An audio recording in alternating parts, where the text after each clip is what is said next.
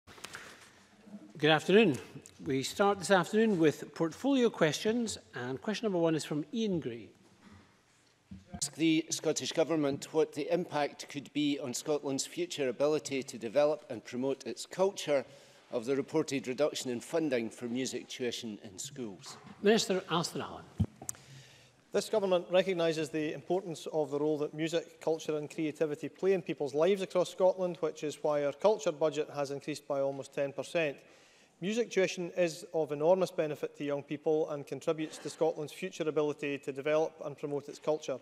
The Scottish Government is actively providing leadership to encourage participation in music. With regards to instrumental music tuition, local authorities are directly responsible for spending in schools. Overall, funding to councils is increasing in real terms despite continued UK Government cuts to Scotland's resource budget. While respecting the autonomy of local councils, Scottish ministers are concerned about changes in some local authorities to the provision of instrumental music tuition and have committed to working in collaboration with partners to find solutions that help ensure instrumental music remains accessible to all. Ian Gray. Uh, well, uh, presiding officer, the culture budget may have increased, but local authorities' budgets uh, have fallen by over 7% in real terms since 2013. So it is no wonder that they struggle with this and many have had to increase or introduce charges for instrumental tuition. There is really only one solution to this. Well, the Minister suggests to his colleagues, the Finance Secretary and the Education Secretary, that they provide new and guaranteed funding centrally in order to deliver affordable or better still free instrumental tuition in our schools for the sake of Scotland's cultural future. Astral. Well, while Member and I agree about the importance of music tuition in schools, uh, I have to point out that he mentions the figure 7%. Uh, 7% is, of course, uh, the real term cut which this government, which this parliament has received uh, uh from the UK government uh, since 2010-2011. Now, councils, uh, as I've mentioned, are, uh, despite that, receiving uh, a uh, real terms uh, increase in the the share of the, the budget which we're able to give to them. Um, but I think it is important to say that some councils, and I can think of some, I could name some, uh, not least, um, for instance, uh, the council in uh, West Lothian, which has, uh, big, I beg your pardon, Mid Lothian, um, which has increased its uh, fees from, from nil to £205. Uh, there are some councils who will wish to take a look at their action uh, in terms of uh, what we, I hope we can agree on uh, which is that uh, free uh, or music tuition should be available uh, in an accessible form and should not uh, uh, prejudice its availability to anyone on grounds of their income. Liz Smith. Uh, thank you. Could I ask the Minister whether he would give Parliament a guarantee that within the Scottish Government's working group on music tuition just now, that they will look at the private partnerships deal with um, public partnership because obviously if it is a question of finding additional money, which it seems to be, then that partnership deal could be very important. Cabinet Sir Minister. Well, the Scottish Government uh, always works in partnership uh, with different agencies. I think it's, it's worth saying in, in the context, however, of, of music tuition, um, that uh, there has long been uh, an agreement since uh, the days of the, uh, uh, the working group on um, music tuition in schools, instrumental tuition, um, that uh, any course which is leading to an SQA qualification should be provided free, uh, and it would certainly concern me if there were evidence of that not happening around the country. Bruce Crawford. Uh, thank you, Mr. Officer. On the subject of music tuition, will the Minister join with me in wishing Systema Scotland Chairman Richard Holloway all the best in his recently announced retirement? Cabinet Secretary, the Minister might be aware that the Richard Holloway spoke recently at a reception here in Holyrood that I hosted for the 10th anniversary of the Systema Scotland's Big Noise Orchestras. Does the Cabinet Secretary agree with me that one of Richard Holloway's legacies is transforming the lives of children, young people and communities through an intensive and immersive musical experience, thus significantly improving the potential of people from disadvantaged areas to live a more enriched and fulfilled lives? Minister. Richard Holloway certainly does deserve uh, congratulation uh, on that uh, count. The, uh, his vision and drive have been fundamental to creating uh, and extending Systema Scotland's outstanding work in our communities, which has benefited so many children in these last uh, 10 years. Systema Scotland has been a huge success uh, in the members' constituency and elsewhere, and is making a real and positive impact in our communities. Systema Scotland now reaches 2,500 children weekly An independent evaluation has highlighted that, as well as increasing the confidence, aspirations and self-esteem in the children and young people involved, Sistema Scotland is making a real and positive difference uh, to communities across Scotland. Question number two, Oliver Mundell. Thank you, Presiding Officer. To ask the Scottish Government what steps it's taking to promote tourism in areas served by the M74. Minister. Yes, Transport Scotland have uh, recently introduced signs to the M74 that signpost uh, its nearby towns, such as Dumfries, Lockerbie, Gretna and Ecclefechan. Visit Scotland currently has a £130,000 memorandum of agreement with Dumfries and Galloway Council to promote the region. Visit Scotland will also receive £500,000 for marketing the South of Scotland region in 2018-19. Oliver Mundell. Thank you, Presiding Officer. I welcome the fact that towns across my constituency are finally on the motorway signs. But uh, will uh, the Minister uh, undertake to uh, put pressure on Transport Scotland to reconsider their rules around brown signs for tourist attractions because many of the smaller uh, tourist attraction, tourist businesses across Dumfries and Galloway are struggling uh, to make their way through the bureaucracy? Alistair Allen. Well, uh, I can't claim to, to speak for, for Transport Scotland uh, directly on this matter, I, I will make sure that uh, the member has a response on that. Um, suffice to say uh, that uh, I think the, the pressure that has been uh, put on this issue from, from a number of members uh, in the south of Scotland, I hope has been uh, helpful in ensuring uh, that the places I mentioned are highlighted on these signs. Uh, but we should certainly also be open to, to all ideas to make sure that uh, both Dumfries and Galloway and the borders uh, are made uh, much more clearly advertised uh, and the, the, the beauty of that region is more clearly advertised to all who visit Scotland. Emma Harper. Thank you, President Officer. The Cabinet Secretary is aware of my ongoing campaign to encourage people to visit South West Scotland, and now the Minister is aware. And I echo Oliver Mundell's comments. Uh, current signage on the M74 from the Central Belt going south gives the impression that there is nothing for 90 miles until you reach Carlisle. Will the Minister agree to meet me to explore options for adapting M74 signposts to feature Bonnie, Dumfries and Galloway and the beautiful Scottish borders with the aim of encouraging further tourism, which will in turn give the local economy a much needed boost? Minister.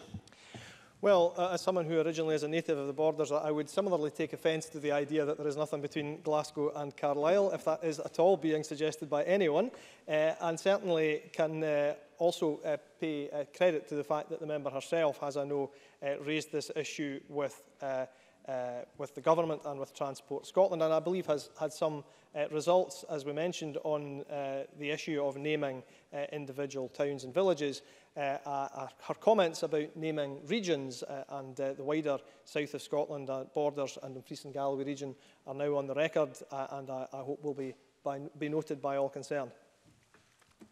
Question number three, Tavish Scott. Thank you, Presiding Officer. To ask the Scottish Government what its position is on whether the promotion of Scotland as a destination for film, television and other productions is best achieved through Creative Scotland. Minister. We backed the screen sector with an additional £10 million of funding this year and approved the joint proposal from Creative Scotland and its partner skills and enterprise agencies to set up a dedicated screen unit within Creative Scotland. That unit, which will be led by a new executive director with screen industry expertise, it uh, will bring increased focus and coherence to public sector support for the film and television industry. Plans for its delivery are well underway and the promotion of film and television, which is already carried out by Creative Scotland, uh, will, I believe, sit best within the unit.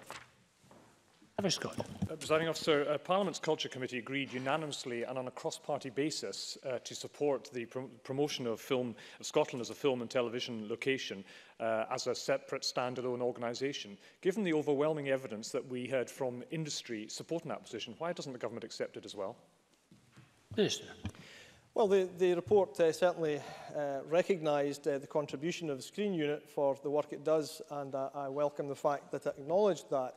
Uh, I do believe that uh, the, the, uh, the, the method that has been set out, that has been identified uh, of supporting screen is the best one, rather than creating new agencies. Since 2007, record public investment uh, has gone into screen, Uh, but in terms of the issues that the member raises uh, around structures, it's important to say too that there are three industry reps uh, on the advisory committee on screen and also that we are recruiting three new members uh, onto the Creative Scotland Board specifically uh, to represent uh, expertise in film too. So uh, I don't agree with the member's view about a standalone agency, but I'm sure we are agreed uh, on the importance of supporting the industry. Claire Baker. Um, thank you, President Officer. The question from Tavish Scott talks about promotion of Scotland for film production. Back in 2013, Fiona Hislop said what we need is a film studio, particularly with a very effective sound studio as part of that complex. Uh, we still don't have a film studio in Scotland. Um, the new uh, screen unit's action plans include finalising a business case for studio capacity and securing new space within 12 months. Is the Minister confident the screen unit can deliver this? Minister. Well, um, we uh, share the sector's ambition to, to see the creation of additional film and TV infrastructure working uh, with Creative Scotland and Scottish Enterprise. Uh, we continue to actively encourage proposals from developers and to stand ready to assist in any way appropriate to aid their delivery. We have welcomed and we continue to welcome proposals from developers and uh, we are, as I say, willing to assist uh, in any way appropriate to aid uh, progress on that front.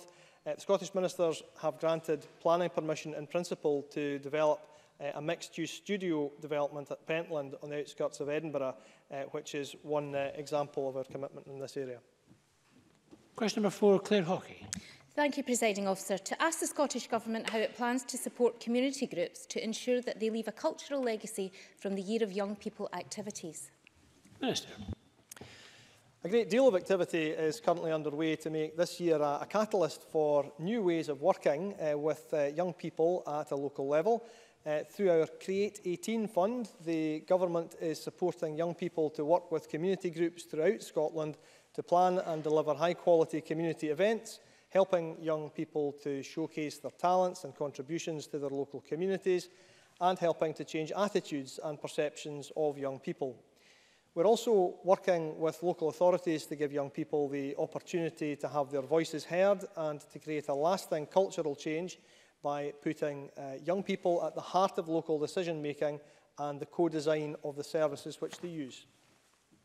Claire Hawkey.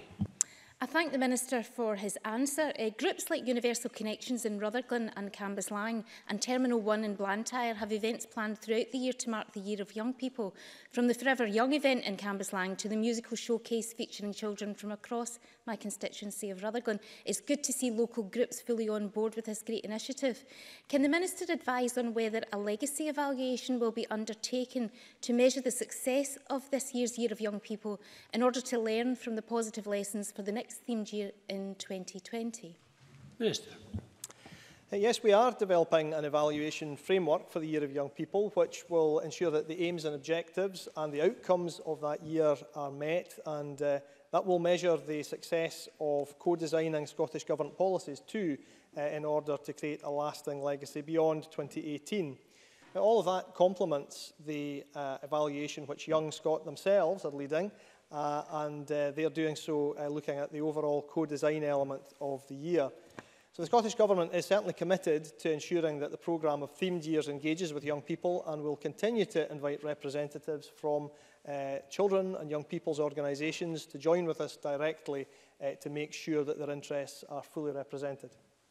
Liam MacArthur very much, uh, President Officer. Um, one community group already doing invaluable work in supporting young people in the islands I represent is the Orkney Youth Cafe. Unfortunately, um, funding difficulties mean that if not resolved uh, by the autumn, the doors of the Youth Cafe could close. Could I ask the Minister, therefore, to ask his officials uh, to engage in directly with the board of the Youth Cafe to ensure that one of the legacies of the Year of Young People is not the closure of this vital facility?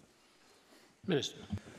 Well, while uh, I've not been involved personally with uh, that particular uh, organisation, I am very happy to accede to, to the member's uh, request to, to ensure that officials uh, uh, do meet with him and, and with the board uh, to see if uh, there are any uh, opportunities for a conversation there that would be helpful. Elaine Smith.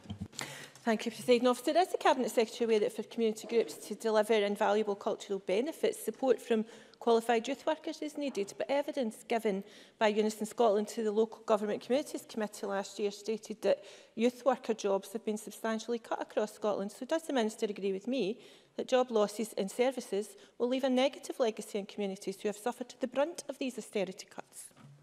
Minister. Well, clearly the, the contribution of uh, youth workers is very important to a number of the programmes that we're mentioning. Uh, again, some of these, in some cases, these will be uh, employees of local authorities, and I don't wish to repeat the points I made earlier. Uh, however, uh, the Scottish Government is always willing to, to work with all who seek uh, to promote uh, not just youth workers, but also the, the people they work with. Question number five, Ivan McKee. Uh, thank you. To ask the Scottish Government what its position is on organisations in the culture and tourism industries that discriminate on the basis of ethnicity operating in Scotland. Minister. Well, equality is at the heart of the Scottish Government's ambitions for a, a prosperous and fairer Scotland, and uh, it is critical to how we meet the challenges and seize the opportunities that will allow us to thrive in the 21st century. We published the Race Equality Action Plan in December 2017, outlining more than 120 actions we will take over the course of this Parliament to secure better outcomes for ethnic minorities in Scotland. Ivan McKee. Thank you. The Minister may be aware that Israeli airline Israel is commencing flights from Edinburgh to Tel Aviv shortly. Unfortunately, millions living in the area itself will be unable to board these flights in Edinburgh Airport solely on the basis of their ethnicity, as Palestinians living in the West Bank are not allowed to fly through Ben Gurion Airport, unlike Jewish Israelis living in settlements next door. Does the Minister agree with me that such discrimination on the basis of ethnicity has no place in modern Scotland? Minister. Well, the, the Scottish Government would, would clearly deplore and condemn any institution or business, for that matter, which discriminated against its customers on the basis of their ethnicity or their religion or their uh, nationality. Um, it's up to the UK Government to decide which airlines fly to the UK, but the, the Scottish Government's uh, views about the, the rights of uh, the people of Palestine are, are a matter of record uh, and uh, ones which are widely shared uh, across this Parliament. John Finney. Uh, thank you, President Officer. Uh, can the Minister confirm that the Scottish Government, through, for example, its Enterprise Agency or Visit Scotland, will not support financially or otherwise businesses or organisations which operate within a system of apartheid, such as outlined by Ivan McGee? Minister. Well, uh, Visit Scotland don't have a, a relationship with the, the airline in question, uh, and uh, that's, uh, the, as I understand, the flights in question uh, are inbound charter flights weekly. They are not, um, they're not a flight uh, or they're not a service which is promoted directly to customers within Scotland. Um, Visit Scotland, as I say, don't have an ongoing relationship with them. Question number six, Ash Denham. Thank you, Presiding Officer. To ask the Scottish Government whether it will provide an update on its talks with the EU following the First Minister's recent meeting with Michel Barnier. Ask them all.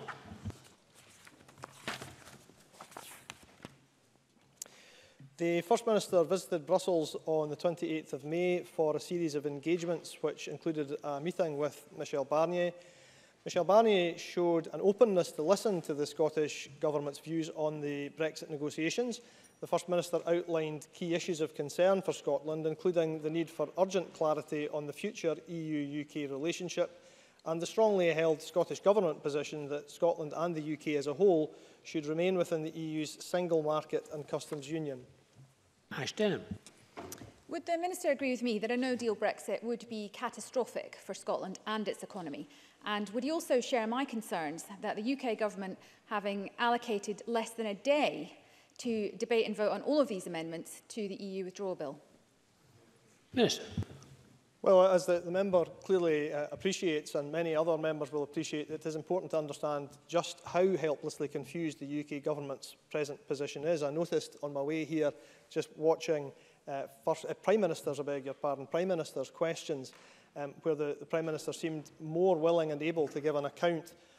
uh, of the House of Lords versus House of Commons pigeon race, uh, important though I'm sure that the cause represented there was uh, than she was able to offer any explanation of how either the Lords or the Commons would, would reach a conclusion about the hurried bill uh, in question. Uh, I also think it, it is uh, quite a, a situation for us all to have reached um, where we are debating um, some of the, the most dire consequences of a no-deal Brexit, and uh, we should all uh, work together to ensure such a thing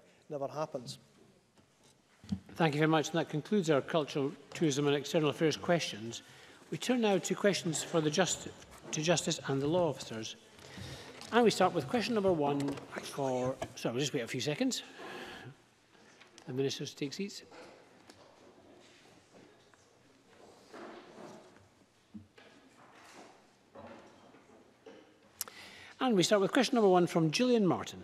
Thank you, Presiding Officer. To ask the Scottish Government when it last met the Divisional Commander for the North East Division of Police Scotland. Cabinet Secretary Michael Matheson. I regularly meet with the designate Chief, uh, Deputy Chief Constable of Police Scotland, Ian Livingston, who has responsibility for operational policing across Scotland. I understand uh, DCC Livingston met with representatives from Aberdeen City Council, uh, uh, Aberdeenshire and uh, uh, Murray Council on the 29th of May to discuss a range of issues relevant to policing in the north east of Scotland. Julian Martin. I thank the Cabinet Secretary, Secretary for that answer. The North East area can struggle to recruit people into public service as it has to compete with a relatively high wage labour market and a housing market that is stubbornly expensive. Can the Cabinet Secretary outline what's been done to make policing an attractive career proposition? And can he point to any discussions he's had with the uh, Divisional Commander on specific training and professional development initiatives in the North East Division? And what's been done to enhance policing skills, particularly in a changing landscape where crime moves off the streets and goes online? Cabinet Secretary. Sir, um, uh, there have been a number of challenges with recruitment in the North East, uh, which is due to the particular economic situation uh, within that region. Uh, and there has been concerted efforts made in the part of uh, Police Scotland in order to enhance the recruitment uh, approach there.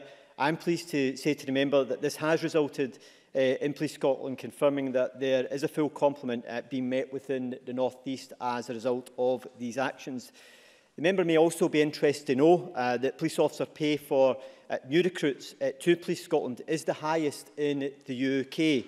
Uh, new recruits into Police Scotland receive a salary of over £24,000 a year, uh, while in England and Wales, new officers uh, could currently receive just under £20,000 on starting, and I understand that there are proposals to drop that further to £18,000 uh, for apprentice uh, police officers. Uh, Police Scotland's uh, recruitment, training and development uh, work uh, is continuing and that's been taken forward by the Interim Chief Constable. Uh, but I know that a new leadership and talent team in Police Scotland is currently taking forward uh, a leadership strategy uh, and this will provide leadership development at all levels and take forward new options uh, for talent man management and career development, including for those within the uh, northeast of Scotland.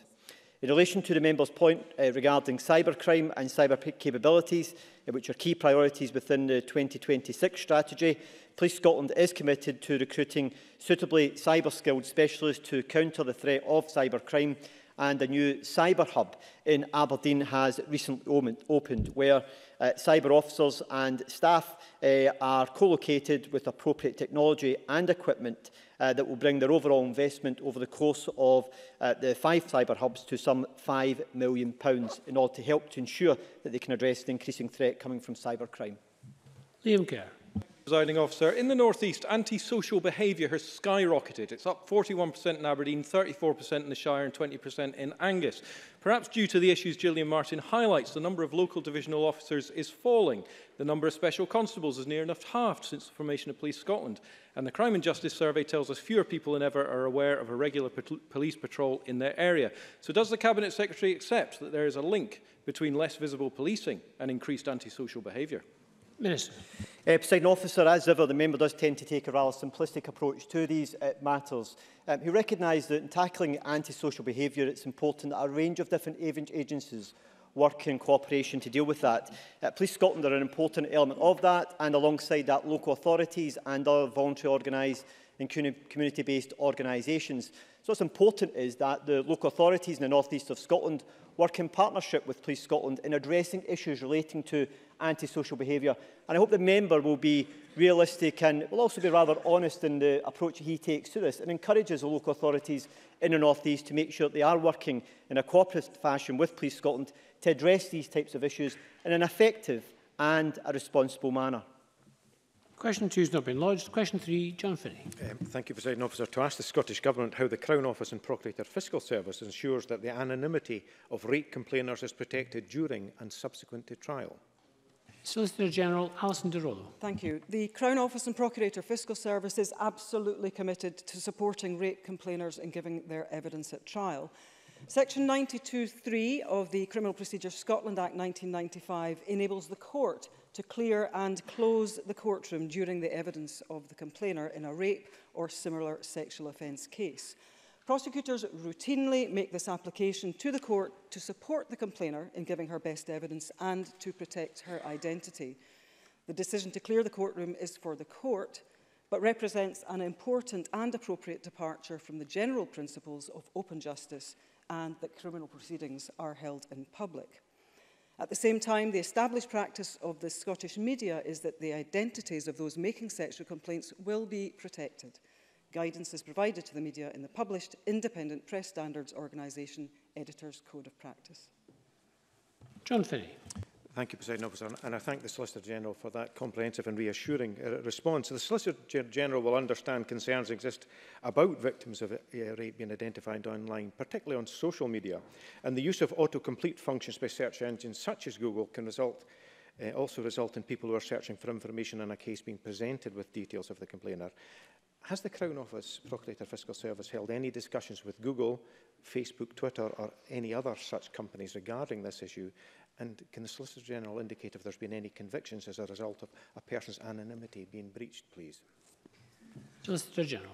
The internet and social media in particular undoubtedly present a set of challenges for the administration of justice and, and indeed all other aspects of civilised society in Scotland. Um, so far as rape complainers and protection of their identity is concerned, uh, COPFS would encourage any rape complainer to bring any matters of concern to the attention of the authorities – And certainly for our part, the Crown would consider the facts and circumstances of both the individual case and the related posting or publication uh, in order to decide whether any prosecutorial action was available and in the public interest. Fear of unwanted publicity is a natural and legitimate concern among raped complainers, and the views, interests and welfare of those complainers are at the heart of the work that we as prosecutors do in bringing sexual offenders to justice. Equally, the Scottish Government is committed uh, to supporting the needs of witnesses to help ensure that they can give their best evidence with the minimum anxiety about the process, including anxiety about anonymity not being protected uh, throughout their lifetime. So it's a wider issue than simply the prosecution um, of crime. Um, cases will be examined to see whether individual criminal offences have been committed, but um, there is a bigger picture, a wider set of issues, and I'm confident that um, the Cabinet Secretary for Justice, who, who would be responsible for, for wider legislation in this area, would be uh, interested to hear and give careful consideration to evidence about uh, particular concerns and the way the uh, system currently operates at present. Thank you. Question for Linda Fabiani. Thank you, Presiding Officer. To ask the Scottish Government when it will report on the consultation on its review of the regulation of legal services. Minister Annabel Ewing. Uh, the member will be aware that the review of the regulation of legal services is independent of the Scottish Government and is chaired by Esther Robertson.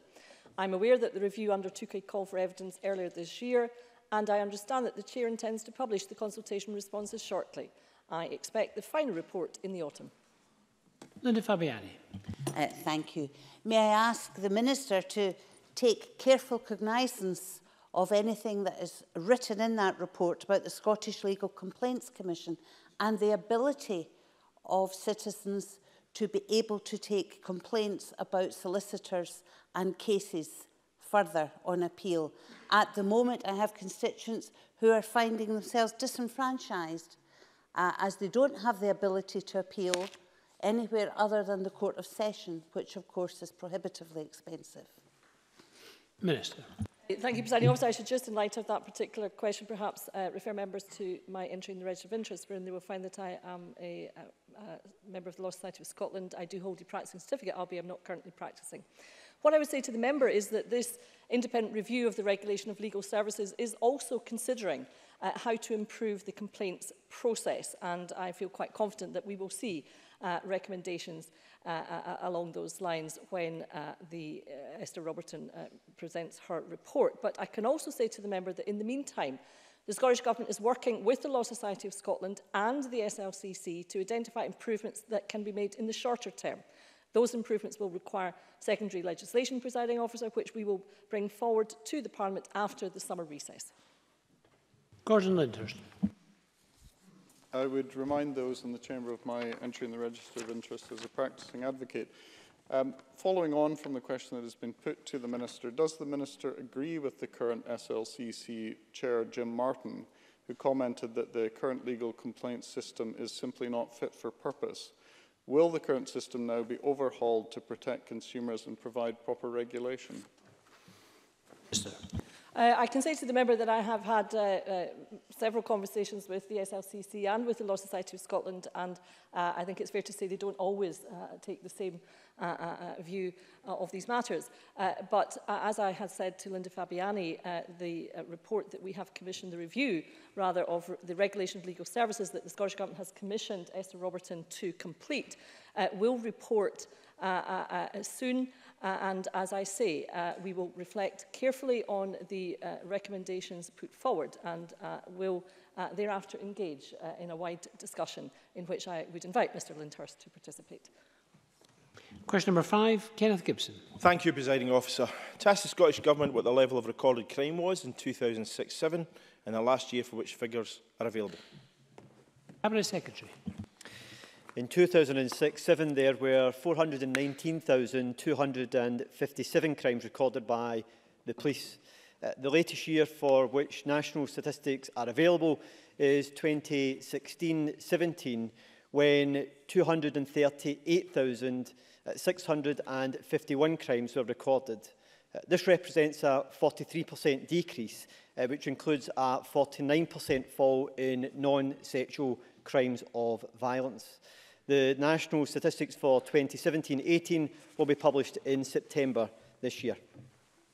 Kenneth Gibson. I thank the Cabinet Secretary for that very positive answer and I'm delighted that thanks to the hard work of our police officers, the policies of this SNP government and the fact that people are generally becoming more law-abiding, that crime has fallen so substantially, making our streets and communities safer. Does the Cabinet Secretary agree, though, that there is no room for complacency and that a continued focus on reducing all crimes, but specifically domestic violence and those of a sexual nature, remains crucial. Cabinet Secretary.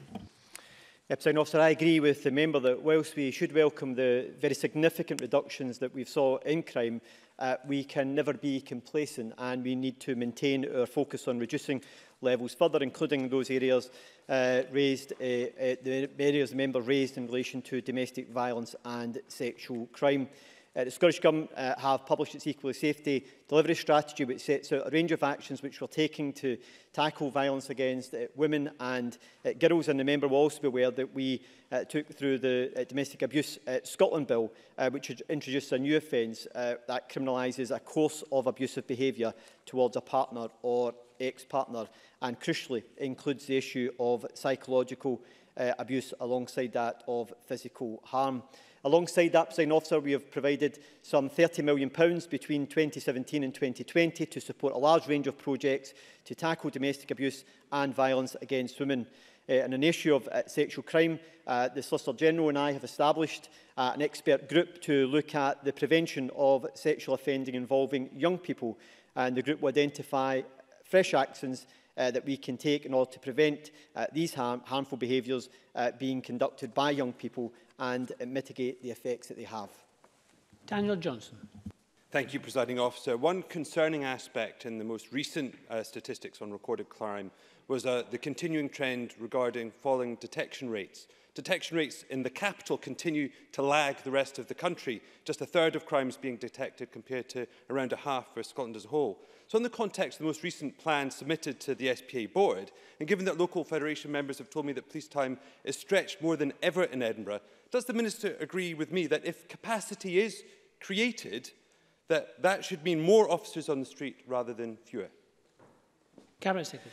Uh, President Officer, I recognise the concern which the member has raised. In, in the last couple of years, for example, within the Edinburgh area, there have been particular problems around breakings, uh, which uh, Police Scotland have taken action uh, in regard to specialist operations being mounted within the capital in order to address those types of concerns uh, where they have identified uh, an ongoing uh, problem. And no doubt local commanders uh, through the uh, uh executive team within Police Scotland will look at what further measures need to be taken here in the capital uh, and in other parts of the country where there are particular localised issues um, around detection matters and also uh, particular types of uh, crime.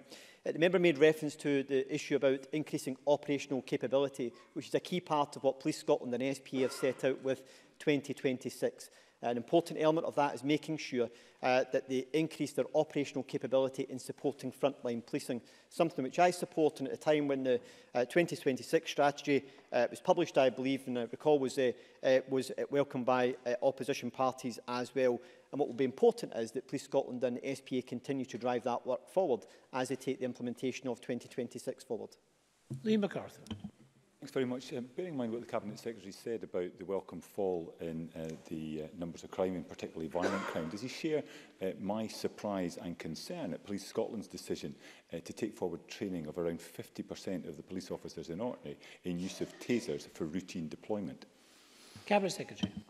Representative Officer, the member will be aware that the reason that the specially trained officers were introduced, some uh, 520 of them, was to help to improve resilience around tackling issues relating to uh, violent crime and crimes which involved or uh, eh, violent instance or uh, instance involved a bladed weapon in order to provide greater protection to police officers. And we've only saw in the course of last week uh, the risks that some of our police officers face.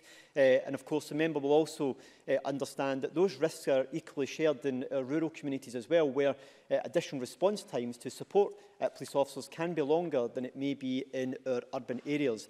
And that TASER was seen as being uh, one of the tools that could assist in helping to provide greater protection uh, to officers. So I do support support the rollout of these specially trained officers across the country, including within our island communities, that will be used in a proportionate and in an appropriate fashion uh, to deal with incidents that do have elements of violence attached to them and where there are bladed weapons. And the specially trained officers are being provided with specific training in how to use these devices as and when appropriate. And I think this is about enhancing uh, police officer safety overall, no matter what part of the country in which they operate.